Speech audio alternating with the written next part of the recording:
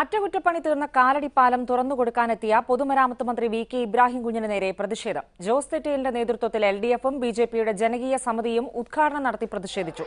Jose തെറ്റയിലിനെ police തടഞ്ഞു. പ്രതിഷേധം രാഷ്ട്രീയ പ്രേരിതമാണെന്ന് മന്ത്രി പറഞ്ഞു. വാർത്തയുടെ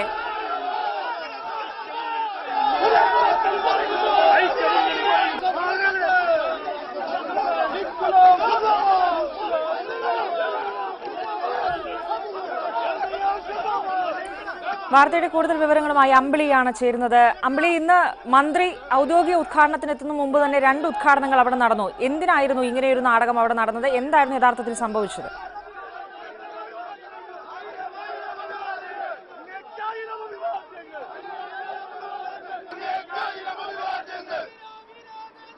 രജനി രാവിലെ ഏഴ് മണിക്കാണ് ബി ജെ പി പ്രവർത്തകർ ജനകീയമായ ഉദ്ഘാടനം നടത്തിയത്.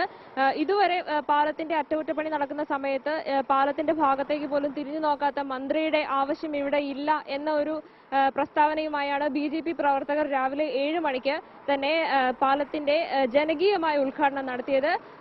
ബൈക്കുകൾ പാലത്തിലൂടെ കടത്തിവിട്ടു. എന്നാൽ അതിനുശേഷം പോലീസ് എത്തുകയും ബി പ്രവർത്തകരെ തടഞ്ഞു നിർത്തുകയും ചെയ്തു. സ്ഥാപിച്ചിരുന്ന ബാരിക്കേഡുകളെല്ലാം മാറ്റിയതിനു ശേഷമായിരുന്നു ബി ജെ പി പ്രവർത്തകർ ജനകീയമായ ഉദ്ഘാടനം നടത്തിയത്. ഒൻപത് മണിയോടെ ഒൻപത് പത്തോടുകൂടി മന്ത്രി വി കെ ഇബ്രാഹിം കുഞ്ഞ് സ്ഥലത്തെത്തി. എന്നാൽ ബി ജെ പി പ്രവർത്തകർ വലിയ പ്രതിഷേധവുമായി രംഗത്തെത്തി. എന്നാൽ ഈ പ്രതിഷേധങ്ങളെ വകവയ്ക്കാതെ മന്ത്രി താന്നിപ്പുഴ ഭാഗത്ത് നിന്നും റിബൺ മുറിച്ച് ഉദ്ഘാടനം ചെയ്തു. മന്ത്രി പാലത്തിലൂടെ നടന്നു വരുന്ന സമയത്ത് മറുവശത്ത് നിന്നും ഞാനിപ്പോൾ നിൽക്കുന്ന ഈ കാലടി ഭാഗത്തു നിന്നും എം എൽ എ ജോസ് തെറ്റയിലിന്റെ നേതൃത്വത്തിലുള്ള സംഘം സമാന്തരമായി മറ്റൊരു ഉദ്ഘാടനം കൂടെ നടത്തി പാലത്തിലേക്ക് കടന്നു. രണ്ട് സംഘങ്ങളും പാലത്തിന്റെ നടുവിൽ വെച്ച് കണ്ടുമുട്ടി.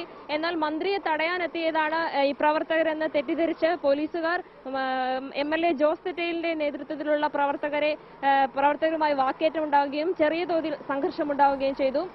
എന്നാൽ തുടർന്ന് പോലീസ് തന്നെ ഇടപെട്ട് മന്ത്രിയും ഇടപെട്ട് കാര്യങ്ങൾ ശാന്തമാക്കുകയും Jose Thettayil M L A മറ്റ് മറുഭാഗത്തേക്ക് നടന്നു പോവുകയും ഇബ്രാഹിം കുഞ്ഞി കാലടി ഭാഗത്തേക്ക് നടന്നു വരികയും ചെയ്തു.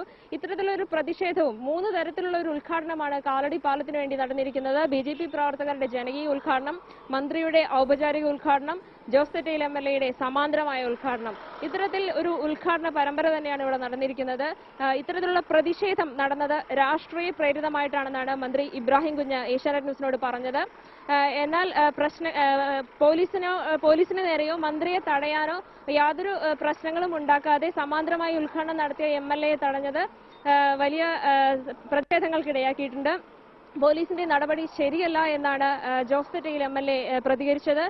Saju പോളും Perumbavoor M L A Saju പോളും ഉദ്ഘാടനത്തിന് വേണ്ടി സ്ഥലത്തെത്തിയിരുന്നു. എന്നാൽ aloo M L A Anwar Sadath ഉദ്ഘാടനത്തിന്റെ സ്ഥലത്ത് എത്തിയിരുന്നില്ല. എന്തായാലും പാലടി കാലടി അമ്പിളി ഞാൻ തിരിച്ചു വരാം. പൊതുമരാമത്ത് മന്ത്രി വി കെ ഇബ്രാഹിം കുഞ്ഞു തന്നെ നമുക്കൊപ്പം നേരിട്ട് ഇപ്പോൾ ടെലിഫോൺ ലൈനിൽ ചേരുകയാണ്. മിനിസ്റ്റർ എന്താണ് അവിടെ സംഭവിച്ചത്? ഞങ്ങൾക്ക് മനസ്സിലാക്കാൻ കഴിഞ്ഞത് ഉദ്ഘാടനത്തിന് മാത്രമായി ഒരു മന്ത്രി വേണ്ട. അതിനിടയ്ക്കുള്ള ഒരു ഘട്ടങ്ങളിലും താങ്കൾ അങ്ങോട്ട് തിരിഞ്ഞു നോക്കിയിട്ടില്ല. അതിനായിരുന്നു ഈ ഒരു ജനകീയ ഉദ്ഘാടനം ഉൾപ്പെടെ ബി ജെ പി അവിടെ നടത്തിയത്. ഒപ്പം തന്നെ സി പി എമ്മിന്റെ പ്രതിഷേധവും എന്നാണ് മനസ്സിലാക്കുന്നത്. ഒരിക്കലുമല്ല. ഇത് തികച്ചും രാഷ്ട്രീയ പ്രേരിതമാണ്. ഒരു വർക്ക് നടക്കണോടത്ത് മന്ത്രി പോയി നോക്കണമെന്ന് പറഞ്ഞാൽ അത് പ്രായോഗികമാണ് നടപ്പുള്ള കാര്യമാണ്. മന്ത്രി ഇതിനൊക്കെ നേതൃത്വം നൽകേണ്ട ആളാണ്.